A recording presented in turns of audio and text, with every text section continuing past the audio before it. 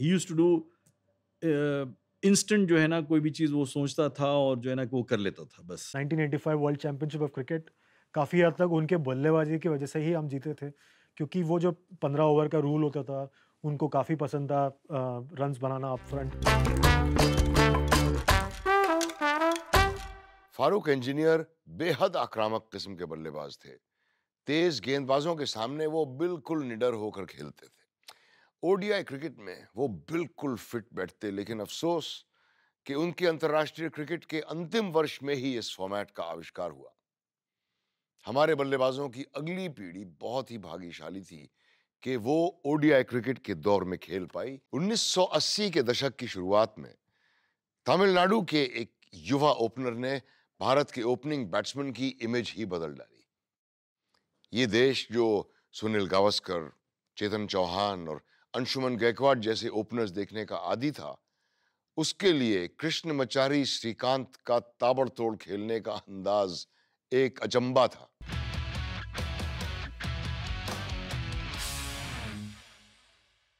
श्रीकांत के साथ काफ़ी टाइम मैंने गुजारा है। इंटरनेशनल क्रिकेट में भी नहीं, बल्कि जो है ना, मैंने साथ में हमने 22 खेला, हमने जो है ना यूनिवर्सिटी साथ में खेला। मैं समझता हूँ कि जो है ना प्लान नहीं करता है। He used to do instant जो है ना कोई भी चीज़ वो सोचता था और जो है ना वो कर लेता था बस। श्रीकांत यूनिक क्रीचर थे। इंडियन क्रिकेट ने कभी इस तरह के बल्लेबाज को उस वक्त नहीं देखा था। आज तो सब लोग काफ़ी और बल्लेबाजों के नाम लेते हैं पर उस वक्त वो जैसे बल्लेबाज थे ताबड़तोड़ खेलते थे। He was a guy who would pull off the front foot pace से इतने डरते नहीं थे। And hair shorts against fast bowling which Indian cricket में तब बहुत कम लोगों के पास था। He was the one who introduce the twenty strokes he gets going you to demoralise bowlers कौन सा भी बॉलर हो अच्छे में अच्छा बॉलर हो he would he would murder fortune favours the brave ये मुहावरा श्रीकांत के लिए बिल्कुल ठीक बैठता है। वो निडर थे और बॉलर्स के ऊपर अपना दबदबा बनाकर खेलते थे।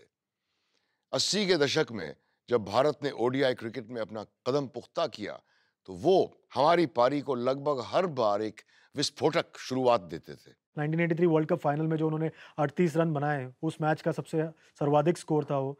और उनको फास्ट बॉलिंग खेलना बहुत पसंद था, और काफ़ी हद तक उनको हेलमेट के साथ खेलना काफ़ी कंस्ट्रक्टेड और काफ़ी हद तक रेस्ट्रिक्टिव लगता था। पहले दो ओवर के बाद अपना हेलमेट निकाल देते थे तेज़ गेंदबाज के सामने भी। दैट वाज द जनरेशन जो हेलमेट के बिना खेली हुई थी। तो फास्ट बॉलर अगर 90 माइल्स पर आर अगर होता तो सब लोग थोड़ा क्रीज में अंदर फंसे हुए रहते थे। Srikkanth would take fast bowlers on हमने उस दौर में दो विश्व स्तरीय खिताब हासिल किए और दोनों बार फाइनल में श्रीकांत हमारे टॉप स्कोरर थे। चाहे वो उन्नीस सौ तिरासी का वर्ल्ड कप हो या फिर उन्नीस में हुई world championship of cricket 1985 world championship of cricket काफ़ी हद तक उनके बल्लेबाजी की वजह से ही हम जीते थे। क्योंकि वो जो पंद्रह ओवर का रूल होता था उनको काफ़ी पसंद था runs banana up front the way he used to clobber Imran and Imran would hold his forehead and uh, scratch his forehead. How can he play such such a good line delivery? How can he hit in this fashion? Srikkanth भारतीय cricket प्रेमियों के बहुत लोकप्रिय थे एक कारण तो था उनकी धुआंधार बल्लेबाजी लेकिन दूसरा कारण था उनका अजीब गरीब अंदाज। हर गेंद का सामना करने से पहले उनका एक अनोखा सा रिचुअल हुआ करता था।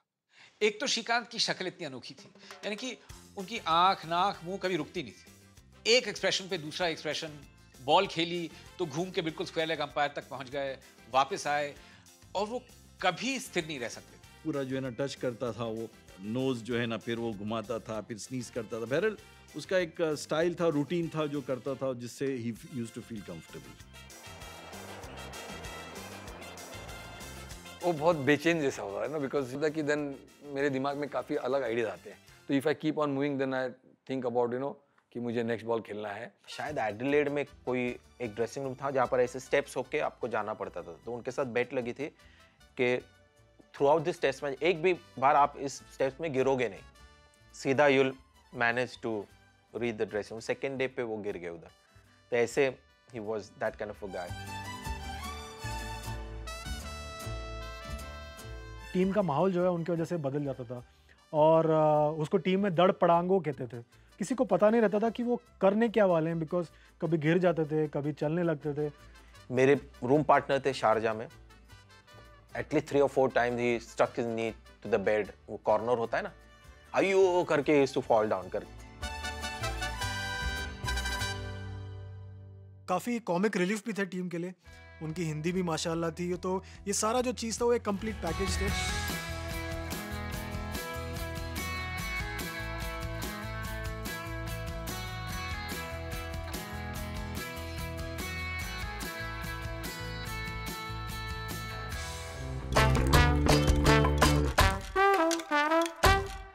जब चाहो ऑन हो जाओ।